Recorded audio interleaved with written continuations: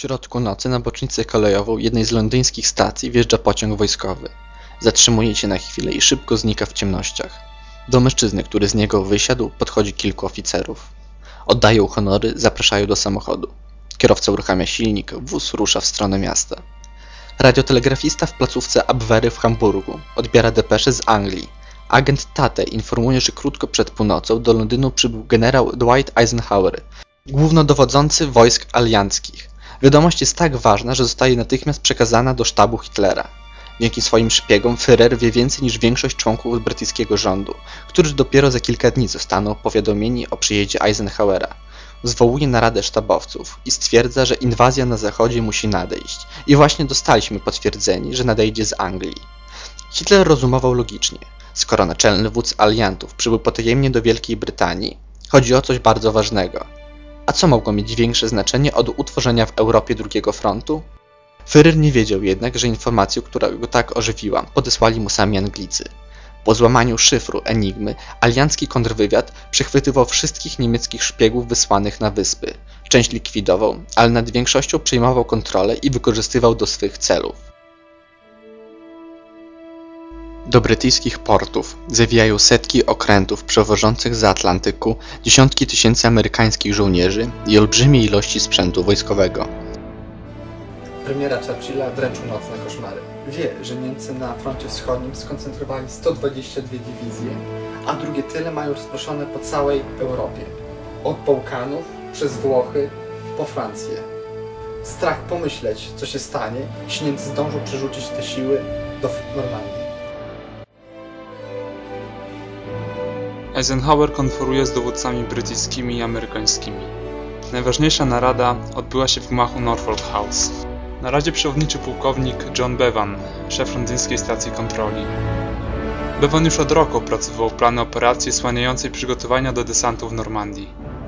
Nadał jej adekwatny do celu kryptonim Bodyguard. Teraz prezentował główne założenia naczelnemu dowódcy. Niemcom należy przekazywać kłamstwa. Trzeba stwarzać wrażenie, że ich agenci zdobywają informacje z największym trudem. Będziemy pozorowali przygotowania do ataku na Norwegię, Bałkany, Włochy, południową i zachodnią Francję. Cel jest jeden. Zmusić Hitlera do rozproszenia sił i utrzymywania ich z dala od miejsca desantu. John Bevan, jego amerykański zastępca, pułkownik William Baumer, wchodzą na pokład bombowca dalekiego zasięgu Liberator. Czeka ich długi niebezpieczny lot. Nie mieli nań ochoty, ale po konsultacjach z Eisenhowerem i Churchillem uznali, że szanse powodzenia Bodyguarda wzrosną, jeśli do operacji zostaną włączeni Rosjanie.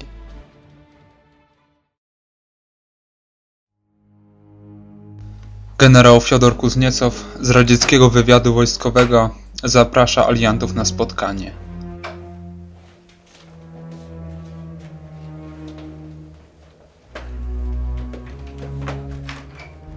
Siadają w dużym, przyciemnionym pokoju. Rozmowa się nie klei.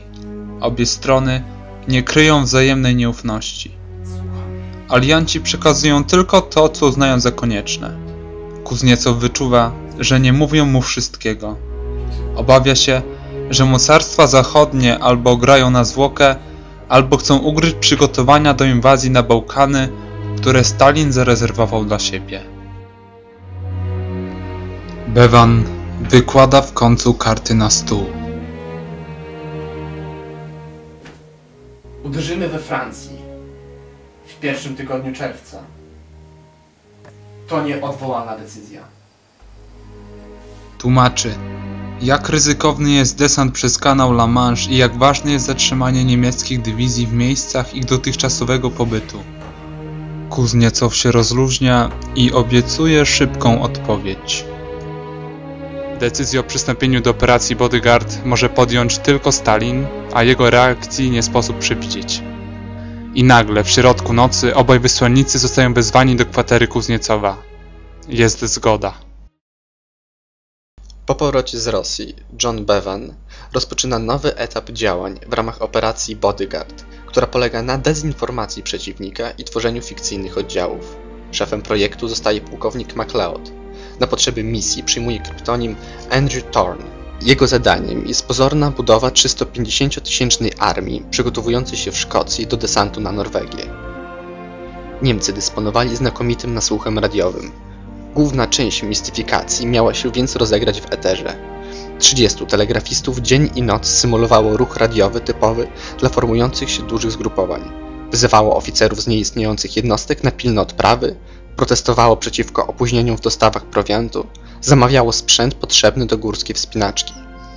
Inni specjaliści od kamuflażu zadbali, by w gazetach pojawiały się wzmianki o wyścigach samochodowych organizowanych przez żołnierzy czwartej armii, a nawet o gratulacje dla jej oficerów z okazji zawarcia małżeństwa. Na lotniskach ustawiano makiety myśliwców i transportowców. Jedyną prawdziwą bronią, jaką dysponował MacLeod, była artyleria przeciwlotnicza, która przepędzała niemieckie samoloty zwiadowcze. Równocześnie nasila się ruch radiowy między Szkocją a norweskim ruchem oporu. Nad fiordami pojawia się coraz więcej samolotów zwiadowczych.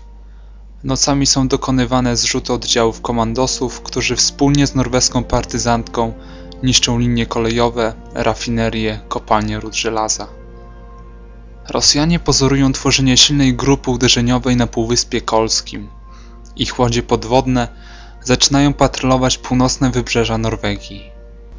Gdy Niemcy połknęli haczyk, alianci przeszli do jeszcze bardziej finezyjnych działań.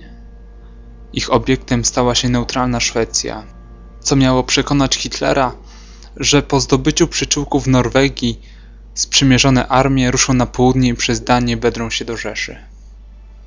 Prawdziwym majstersztykiem było sprokurowanie na nowojorskiej giełdzie nagłego wzrostu kursu akcji skandynawskich spółek. Nie trzeba wielkiej wiedzy, by zrozumieć, że amerykański biznes miał przecieki na temat szybkiej zmiany sytuacji w tym regionie.